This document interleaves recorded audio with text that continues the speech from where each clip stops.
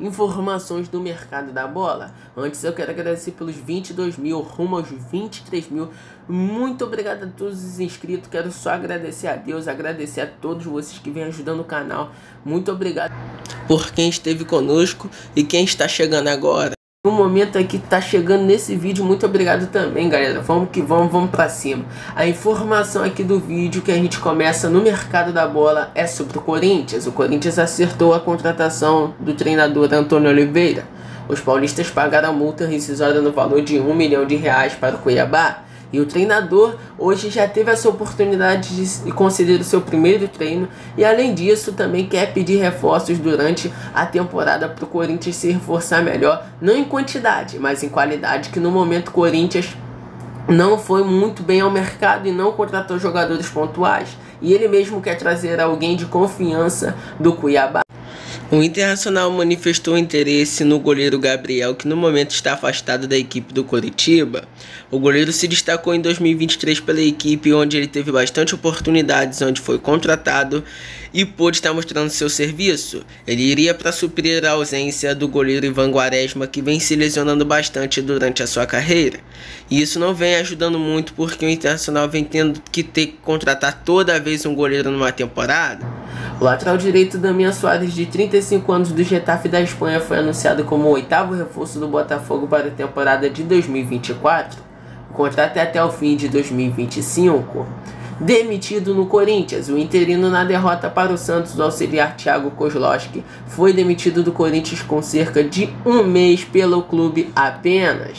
Outra informação é sobre uma troca, troca de zagueiros. Fortaleza confirmou a chegada do zagueiro Kusevich, que já teve passagem pelo Palmeiras, e também teve uma oportunidade o Coritiba de contratar um zagueiro que vem do Fortaleza. Marcelo Benevenuto se transferiu para o Curitiba, até já foi apresentado. Uma outra informação é do Bahia. O Bahia oficializou a contratação do atacante Oscar Stupinan, o jogador que pertence ao Hull City da Inglaterra, assinou contrato de empréstimo até o final da temporada de 2024. O Fortaleza comunicou o acordo de compra junto ao Floresta, ao atacante Arley Barros. O tricolor cearense garantiu 60% dos direitos econômicos do jogador. Se esse jogador tiver uma oportunidade, galera, de ser um jogador que suba para o profissional, vai mostrar o seu talento porque ele é muito bom jogador. Série B, o Guarani demitiu o treinador Humberto Louce após a derrota para o Limeira. Além dele, o auxiliar Ricardo Chuva e o preparador físico Marcelo Roling também foram demitidos do cargo. E a outra informação para fechar o nosso mercado da bola de hoje é sobre Afonso Davis. Real Madrid e Liverpool entram em jogo para contratar o lateral esquerdo Afonso Davis, que tem um porte físico muito bom. O camisa 26 do time inglês, um dos principais da equipe, tem convivido com problemas físicos, além de uma lesão recente que o deixou fora de 21 partidas e deixou um vazio muito grande no Bayern de Munique, porque ele é um dos principais jogadores da equipe alemã. Apesar da importância, o Liverpool estaria buscando um substituto para o jovem Robson, que deve sair. O jogador tem 29 anos de idade. Atualmente, Afonso Davis tem como Real Madrid o principal clube interessado pelo seu futebol, mas além do Liverpool, atual campeão da Champions League, Manchester City também pode estar monitorando o jogador mesmo com a contratação recente de Gaivardio.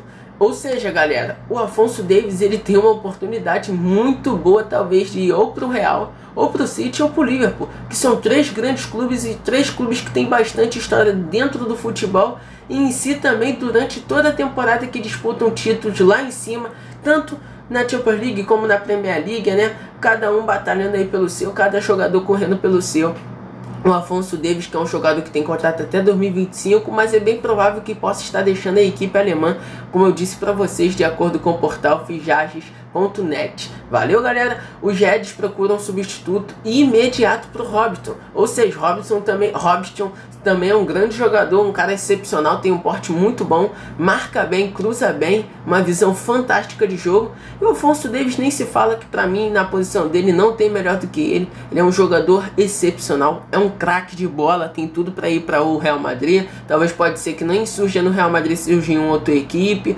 surja numa equipe que talvez ele seja um jogador que tenha mais oportunidades, um jogador que seja mais visto, né? Independente de qualquer coisa que para mim estaria sendo visto em qualquer equipe que ele for jogar uma possível Champions League, como ele já está acostumado.